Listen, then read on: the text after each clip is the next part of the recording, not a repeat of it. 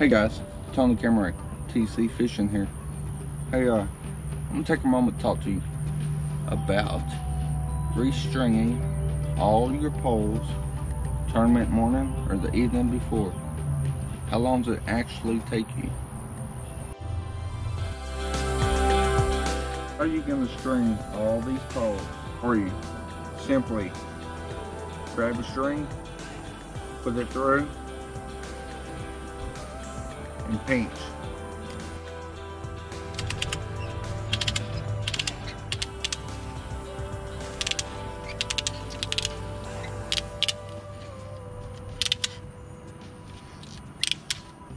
Done.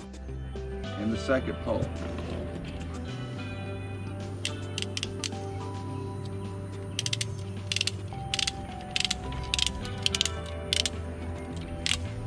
Done. It also comes with a, another needle. One's in it, one's a extra. And then you get a number five. These are for different eyes. The size of the eyes on different poles. You simply pull this one out. Slide the number three in. And it's done.